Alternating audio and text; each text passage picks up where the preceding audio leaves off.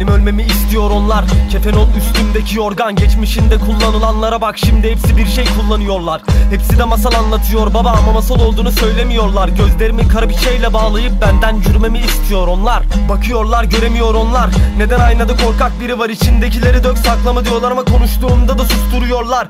Niye hiçbiri anlamıyor baba? Niye hiçbiri duymuyor? Hala içki içirip kusura atla diyorlar. Kafa yaptıklarım kafamı sikiyorlar.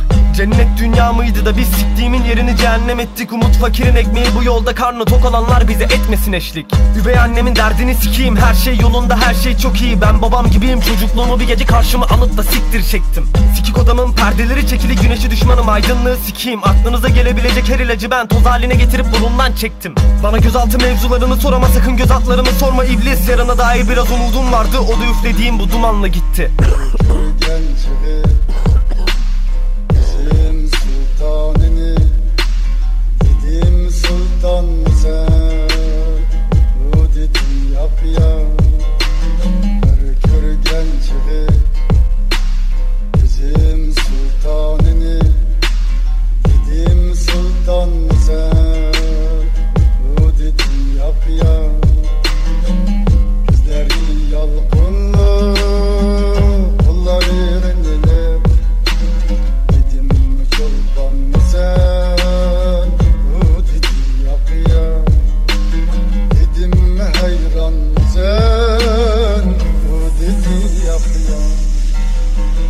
Baba nasılsın ne yapıyorsun? Ben Süleyman Aktaş gibi hissediyorum. Şivi nefretim olur çekicim dilim. Ben çıkıyorum içeri sen giriyorsun. Sen de benim gibi keşke diyorsun.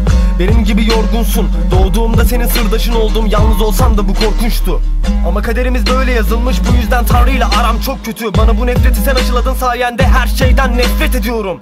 Gidenleri beklemiyorum. Gelenleri kapımı açmıyorum. Baksana her şey sen gibi laptop, sigara, bira ve iddia kuponu Biliyorum baba sen çok iyiydin ama kodumun dünyasına yenik düştün. Adem bile henüz doğmamışken ona da kaderin o ağları örülmüştü.